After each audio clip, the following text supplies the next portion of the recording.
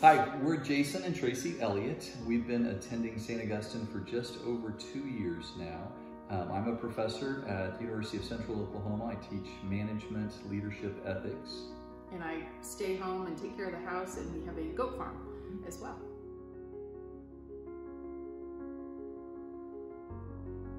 The first time we ever came to St. Augustine, Sarah Emily met us at the door and she not only recognized that we were new, but made us feel really welcome, but she made us feel very comfortable being in a new environment and showed us around the church and all.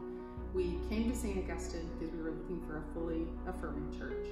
And not only did we find that, but we found a richness and diversity in cultures that we didn't really know we were missing until we had it. And so I'd say we very strongly have a connection to the mission statement we were personally enthusiastically welcomed and we see that all the time. But we definitely see um, a commitment to the unity of all people every Sunday that we're there.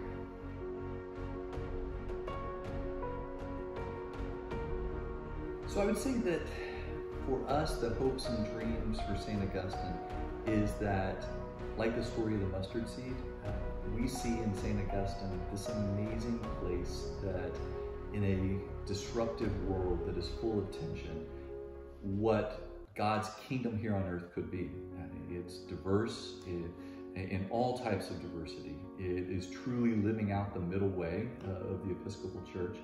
And if that mustard seed could grow and could influence the greater community and continue to influence the greater community as it already has, I think we would have a better city, a better state, if everyone looked at the world in the same way that St. Augustine is living that into its environment right now.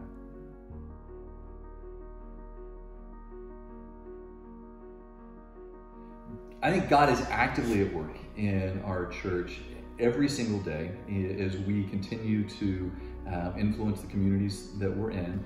But particularly on Sunday mornings, uh, we are blown away by uh, the uniqueness of the worship and that every Sunday it is something different. And every Sunday it, it brings something to uh, the word that is impactful. And we both are influenced by music, by visuals, by what we hear, by what we read, and it is so thoughtful and planned that it all connects such that all of our senses are impacted and we can truly feel God at work.